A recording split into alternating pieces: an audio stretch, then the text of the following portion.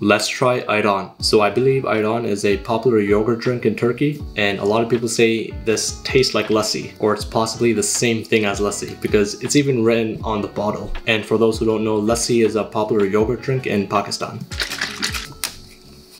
Smells exactly like it. It's the same thing. I don't know if this is the salty one, but it's not sweet. Sodium 300 milligrams, sugar zero. It isn't as salty as salty lassi. Usually when I drink lassi, there's always a milk mustache. Like even if I try to get one with this. Yeah, it's a bit light. If it's just a wee bit thicker, it'll be exactly the same. So ayran versus lassi, it's not as thick, but taste-wise, it's the same.